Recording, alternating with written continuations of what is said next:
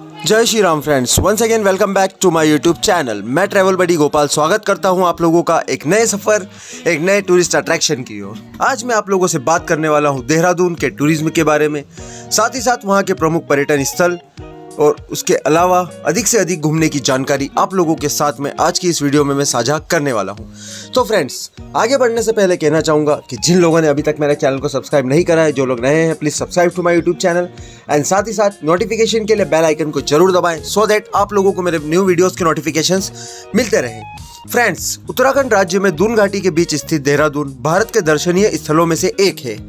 उत्तराखंड राज्य की राजधानी देहरादून पर्यटकों के मध्य बहुत ही लोकप्रिय हिल स्टेशन है, जो फैमिली वेकेशन, फ्रेंड्स टूर और कपल्स के घूमने के लिए उत्तराखंड की परफेक्ट हॉलीडे डेस्टिनेशन है। उत्तराखंड राज्य में गढ़वाल हिमालय की एक सुंदर पृष्ठभूमि पर स्थित देहरादून समुद्र तल से 1400 फीट की ऊंचाई पर स्थित है।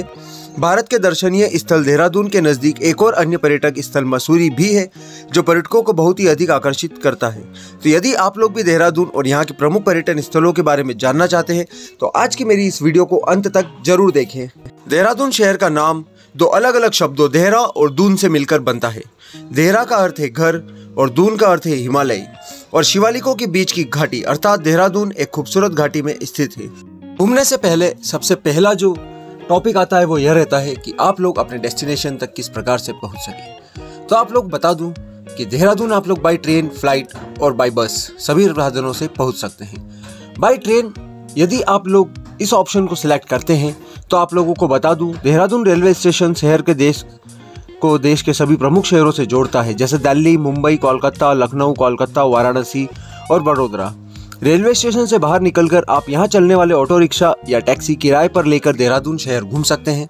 आप लोगों को बता दूँ कि इस स्टेशन की कनेक्टिविटी काफ़ी अच्छी है और यह देश के सभी प्रमुख रेलवे स्टेशनों से जुड़ा हुआ है। नेक्स्ट ऑप्शन है बाई बस या फिर बाई रोड आप लोगों को बता दूँ, देहरादून एन एच के माध्यम से देश के अन्य प्रमुख शहरों से सड़क मार्ग के ज़रिए बहुत अच्छी तरह से जुड़ा हुआ है। देहरादून में ISBT बस स्टैंड है। आप इस बस स्टैंड पर उतरकर देहरादून शहर घूमने जा सकते हैं। आप लोगों को दिल्ली मनाली, शिमला जैसी जगहों से डायरेक्ट यहाँ पर आने के लिए बस सुविधा उपलब्ध हो जाती है। नेक्स्ट ऑप्शन है हमारा यहाँ पर।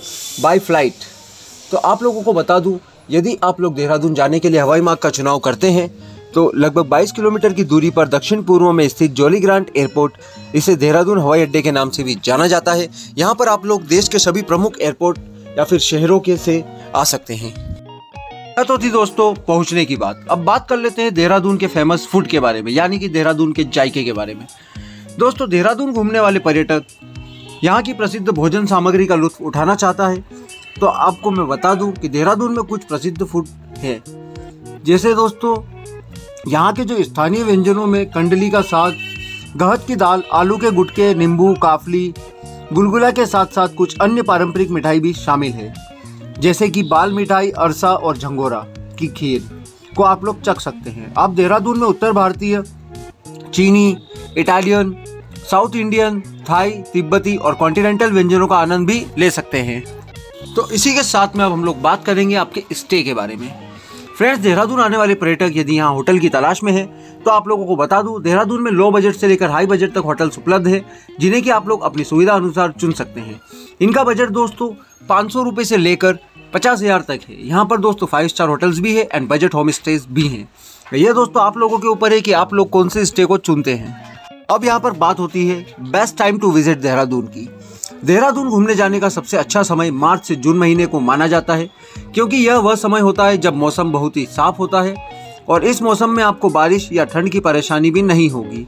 इस मौसम में देहरादून शहर को यहाँ के दर्शनीय स्थलों और साहसिक गतिविधियों का आनंद लेने के लिए पर्यटक दूर दूर से आते हैं। इस समय के दौरान यहाँ अधिकतम तापमान 35 डिग्री सेल्सियस और न्यूनतम 17 डिग्री सेल्सियस तक आका जाता है। अब आती है दोस्तों टूरिस्ट प्लेसेस। आप लोगों को बता दूँ कि देहरादून में काफ़ी ज़्यादा टूरिस्ट प्लेसेस हैं।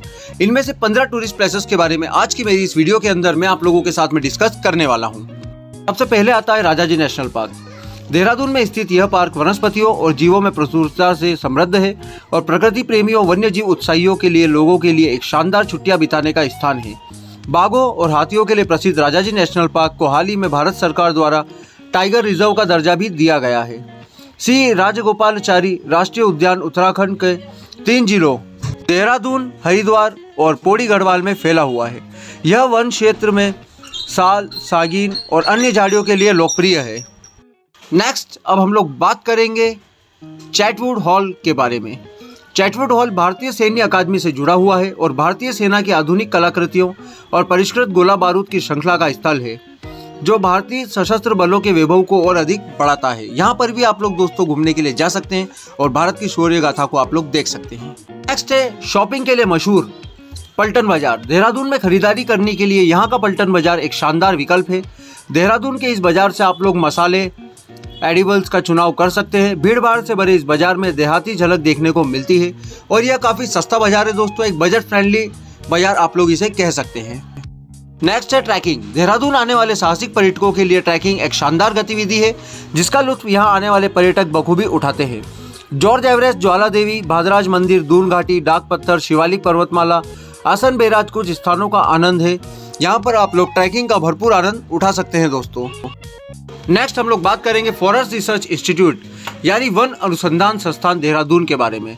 देहरादून का यह संस्थान वर्ष 1906 में स्थापित किया गया था और यह वन अनुसंधान संस्थान साढ़े चार वर्ग किलोमीटर में फैला हुआ है। इसमें वास्तुकला के उपनिवेशक और ग्रीको रोमन शैलियों के समावेश देखने को मिलते हैं। भारत में वानिकी अनुसंधान के क्षेत्र में स्थित यह प्रमुख संस्थान उत्तराखंड की राजधानी देहरादून में है। फॉरेस्ट रिसर्च इंस्टीट्यूट का खूबसूरत विशाल परिसर मीडिया को भी आकर्षित करता रहता है। इस स्थान का उपयोग विभिन्न बॉलीवुड फ़िल्मों को फिल्माने के लिए भी किया गया है फ्रेंड्स तपोवन मंदिर एक पवित्र स्थान है, जो देहरादून शहर से लगभग पाँच किलोमीटर की दूरी पर गंगा नदी के तट पर स्थित है। यह मंदिर चारों तरफ़ से हरियाली से घिरा हुआ है, जो और अधिक आकर्षित लगता है। यहाँ आने वाले पर्यटकों को यहाँ के शांत वातावरण में अपने मन को शांति प्रदान होती है। सबसे दिलचस्प बात यह है कि इस मंदिर का नाम तपोवन शब्द दो शब्दों से लिया गया है। तपस्या, जिसका अर्थ है कठोर और वान, जिसका अर्थ है वन, से लिया गया यह शब्द है। Zonal museum, Dehradun. Zonal museum मानव जाति की उत्पत्ति, विकास और जीविका से संबंधित कलाकृतियों और संग्रह के लिए लोगों के बीच लोकप्रिय है। यह जोनल म्यूज़ियम यहाँ की संस्कृति, जीवन स्थितियों और रीति रिवाजों का गवाह है। इस संग्रहालय की स्थापना सन उन्नीस सौ इकहत्तर में की गई थी। आपकेश्वर मंदिर देहरादून शहर के केंद्र से लगभग सात किलोमीटर की दूरी पर स्थित है। भगवान शिव को समर्पित टापकेश्वर मंदिर एक गुफा मंदिर है और यह मंदिर पर्यटकों को अपनी ओर आकर्षित करता है। यह श्रद्धेय मंदिर एक नदी के किनारे स्थित है, जो कि इसे एक अद्वितीय पवित्रता प्रदान करती है। एक शिवलिंग मंदिर के मुख्य परिसर में निहित है और शिवलिंग पर लगातार छत से पानी टपकता रहता है, जिसे देखने के लिए लोगों की लंबी भीड़ लगी रहती है। माना जाता है कि इस गुफा को गुरु द्रोणाचार्य ने बसाया था और यह द्रोण गुफा के नाम से भी प्रसिद्ध है। शिवालिक रेंज के आधार पर स्थित मालसी डियर पार्क एक प्राणी उद्यान है। यह दो सिंह वाले हिरण, मोर, बाघ, नीलगाय और कई अन्य जीवों के लिए निवास स्थान है। यहाँ आने वाले सभी प्रकृति प्रेमियों के लिए स्वर्ग की तरह प्रतीत होता है। मालसी डियर पार्क की सुंदरता समय बिताने के लिए बहुत ही अनमोल है। वनस्पतियों और जीवों से समृद्ध यह पार्क शहर के व्यस्त जीवन से दूर रहने और आराम करने के लिए एक शानदार पर्यटक स्थल है। तो यदि आप लोग भी शहर की भीड़ भाड़ भरी ज़िंदगी से दूर जाना चाहते हैं और देहरादून ही आप लोग घूम रहे हैं तो आप लोग इस जगह को भी ज़रूर विज़िट करें। देहरादून में स्थित फन वैली परिवार और दोस्तों के साथ जाने के लिए एक आदर्श जगह है। आप यहाँ पूरा दिन उत्साह, पूर्ण ढंग से बिता सकते हैं। फन वैली में एक विशाल आंतरिक परिसर, बहुव्यंजन रेस्तरा, कियोस्क, रोमांचकारी सवारी और आवास स्थान है, जिसमें एक शानदार वाटर पार्क, डिलक्स कमरे शामिल है। फन वैली में हाल ही में छुट्टी के दिनों में पर्यटकों की भारी संख्या को देखने को मिलती है। यहाँ सम्मेलन कक्ष, पार्टी हॉल और शानदार कॉटेज जैसी सुविधाएँ आपको मिल जाएगी। हर की धुन देहरादून शहर की हलचल से दूर स्थित एक खूबसूरत पालने के आकार की घाटी है, जिसका सौंदर्य देखते ही बनता है।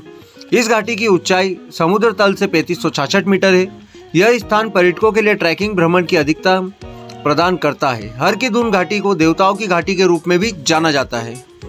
तिब्बत में निगम्मा स्कूल के छह प्रमुख मठों में से एक, माइंड रोलिंग मठ की स्थापना सन सोलह में रिगजिन तैरदक लिंगपा के द्वारा गई थी, जिसके बाद में सन उन्नीस सौ पैंसठ में भिक्षुओं के एक समूह के साथ खोचन रिनपोछे द्वारा देहरादून शहर में फिर से स्थापित किया गया। माइंड रोलिंग मठ देहरादून का एक खूबसूरत पर्यटक स्थल है, जहाँ सैकड़ों की संख्या में पर्यटक आते हैं।